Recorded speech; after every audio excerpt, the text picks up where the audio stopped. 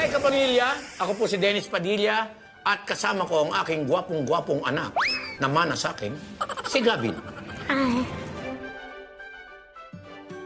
Ako po ay isang ah, komedyante at ah, marami na po nagawang pelikula. Tapos ngayon ako ay busy sa ang mannequin ni Monica sa Once Upon a Time. Ah, ang mami po ni Gavin ay si Linda Marie Gorton. Magti 10 years na kami.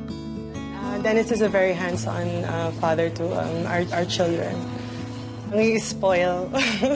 so ako yung more of a disciplinarian. Yeah. My papa is loving and handsome.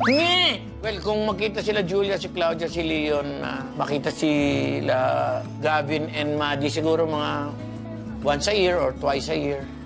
Pangarap ko sa lahat ng mga anak ko, sana magkaroon pa sila ng mas madaming times na magkasama ka- para mas lubos sila magkakakilalanan.